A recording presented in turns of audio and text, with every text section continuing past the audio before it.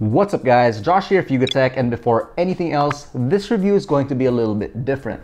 Up until now, we've reviewed phones, cameras, laptops, motorcycles, and yes, even cars. But in this video, we'll be talking about something that might just be your one-stop ticket to quitting cigarettes. Undoubtedly, what we've been through these past few months has been quite a wake-up call. Some of you may have probably already turned your lifestyles into a complete 180, or maybe you're still figuring your way around the new normal. And that's okay. I'm sure a lot of us have been thinking about alternative ways to turn not so good habits into more responsible practices.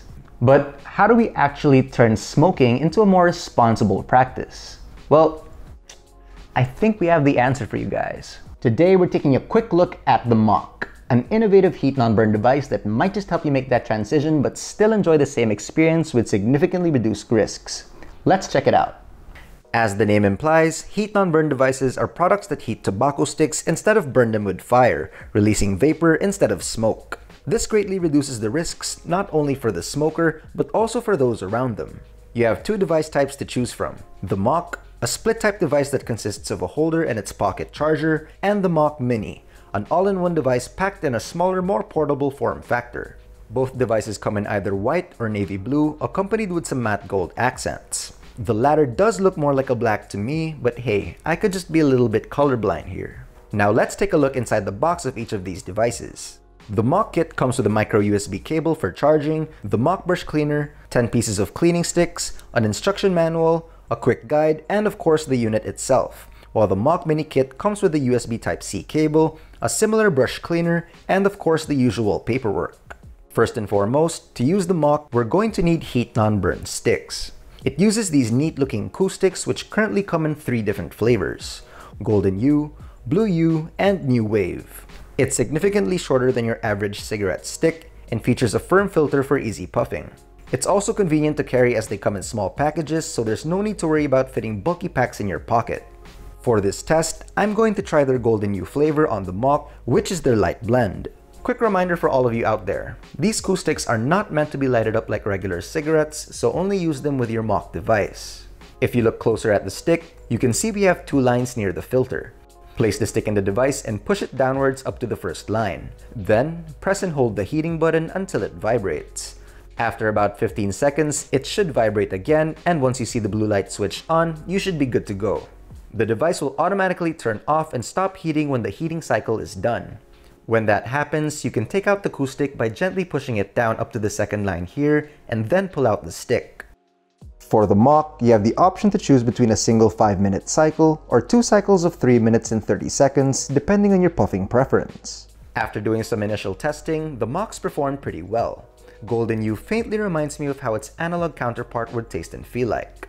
The hard solid plastic material coupled with the velvet matte finish makes the Mok easy to grip and pick out from your pocket. It feels pretty smooth to the touch and is quite light to carry around as well, weighing just about half as much as your average smartphone.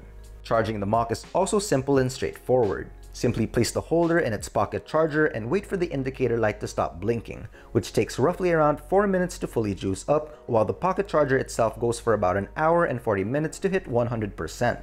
You can use the micro USB charging cord that comes with the kit and plug it in any outlet available to juice up the pocket charger.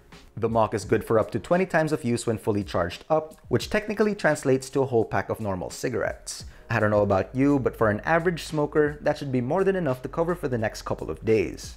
The Mok Mini, on the other hand, is their all-in-one device which is even more sleek and compact. The holder and charger are built into one device with a capacitive touch button at the front and takes about one hour to fully charge. For this, I gave Blue U a try just to see how it tastes like. Putting it to the test, it seems like it performs exactly like the Mok. But because of its smaller size, the Mok Mini is good for up to 12 times of continuous use in one full charge instead of 20. Blue U gives a very cool hit that menthol smokers are going to appreciate, but I'm not much of a menthol fan so I definitely like Golden U more. But if you're not a fan of that super minty hit, New Wave is a little bit more subtle with a unique twist when you pop the capsule inside the filter. Personally, when I heard about these devices, I was more intrigued about the Mok Mini. The less familiar form factor does make it slightly harder to get used to, but once you've gotten over that hump, it's a great companion to have, especially if you're looking for a simple, straightforward device that does the job. Also, this does come with a Type-C charging slot instead of a micro USB, so that could be another deciding factor for you. All in all, this heat non-burn device can hit the spot for those who want to cut back or quit on traditional cigarettes. Trying it out for a week straight, I initially had to adjust to the taste, especially for Golden U, but eventually got used to the flavor after some time. With regards to the rest of the experience, the pull is tight, battery life is enough, and it's just generally less harmful than inhaling all those unwanted chemicals found in this guy over here. The Mok cigarette-like Coo sticks make me feel like I'm actually smoking the real thing. They do have a distinct scent, but it's far less noticeable and less harmful than your traditional cigarette. Plus, it doesn't stick onto your clothes, which is probably my favorite part. So far, the only cons I can think of is the maintenance needed to keep using the Mok. Since the heat non-burn sticks are heated internally, it's recommended to clean the residues after at least 20 sticks to avoid any future issues. But overall, they're quite convenient to carry around, plus add a stylish touch to your habit. Just to set things straight, this is not a promotion for non-smokers to use the device. But for those who already do, the Mok looks like a promising alternative that might just help improve one's lifestyle. The Mok is priced at 3,490 while the more affordable Mok Mini sells for 2,490. Their Coo sticks will run you 120 pesos for a pack of 20 sticks, but I suggest to just go ahead and buy a ream of 10 packs for 1,200 pesos to save you time once you've found the right flavor.